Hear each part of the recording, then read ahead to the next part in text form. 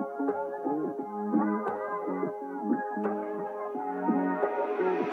you.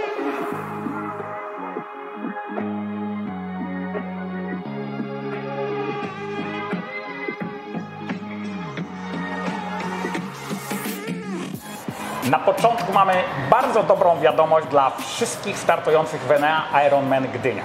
Żaden z zawodników nie będzie musiał dotrzeć podczas swojego wyścigu właśnie tu, gdzie w tym momencie jesteśmy. To jest bardzo ważny punkt dla Gdyni. Punkt y, widokowy, infobox, jak to się ładnie nazywa. Aniu, dlaczego to jest takie i ważne, i ładne miejsce? Stąd proponuję zawsze zacząć zwiedzanie Gdyni, Ponieważ? bo tutaj widzimy wszystko. Widzimy najciekawsze fragmenty Gdyni, widzimy ORP Błyskawice, widzimy Dar Pomorza, mamy też e, widok na Kamienną Górę, na którą możemy wjechać bezpłatną kolejką, a tam mamy też bardzo fajny punkt widokowy.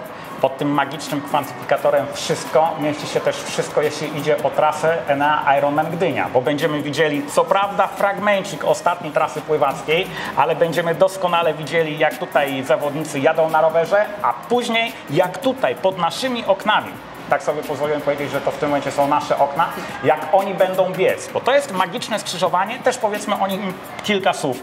Yy, Jeżeli się mylę co do nazewnictwa, to mnie popraw. 10 lutego Tak? tak, 10 lutego. A dlaczego? Cóż to znaczy 10 lutego w Tysiąc- życiu Gdyni?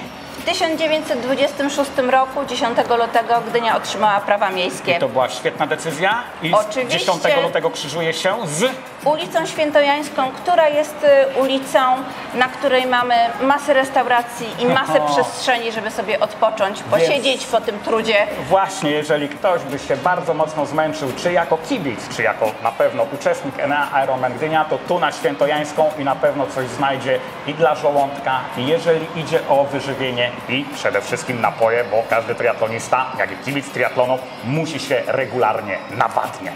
Enea Ironman Gdynia zapraszamy nieustająco.